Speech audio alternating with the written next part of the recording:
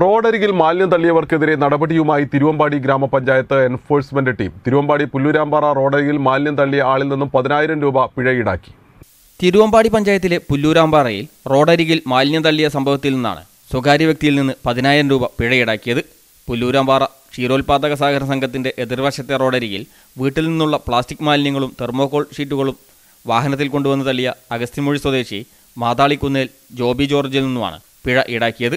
തിരുവമ്പാടി ഗ്രാമപഞ്ചായത്തിന്റെയും ആരോഗ്യവകുപ്പിന്റെയും നേതൃത്വത്തിലുള്ള എൻഫോഴ്സ്മെന്റ് ടീമാണ് പിഴ ഈടാക്കിയത്.